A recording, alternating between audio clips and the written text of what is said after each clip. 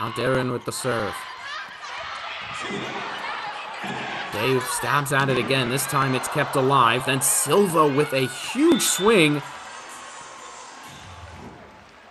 It's going to keep a Red Sparks player on the floor. May have hit